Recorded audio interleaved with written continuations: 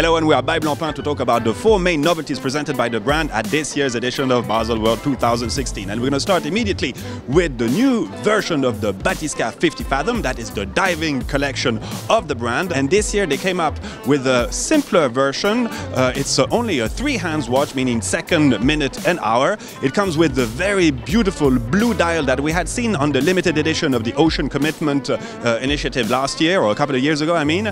But this time it is encased in a really beautiful gray ceramic uh, case. Although it comes in a ceramic case, you still have kind of a metal feel uh, to it with the special uh, painting that has been added on the ceramic. As a diving watch, this uh, has a unidirectional uh, bezel and uh, is water resistant to three bars, meaning approximately 300 meters. And the price of this watch is set at 12,000 Swiss francs. So for the second novelty, we go in the Villeret collection of watches with the new Quantième Annuel GMT. And when I say new, it's because it comes for the first time in a steel case, making it naturally a little bit more affordable, but still at 25,000 Swiss francs. So you'll be able to see the GMT function at 8 o'clock with a 24-hour indicator.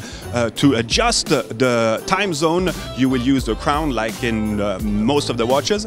But uh, this watch also has the famous underlug uh, correctors uh, that will help you set the day and the month of the annual calendar. This is very practical because you don't need a tool uh, to make those adjustments. You can really do it by hand. And on top of it, I mean, it, it's not visible. It doesn't have any harm on the, on the aesthetic uh, uh of the watch. Regarding the time, obviously you use the crown like in any other watches.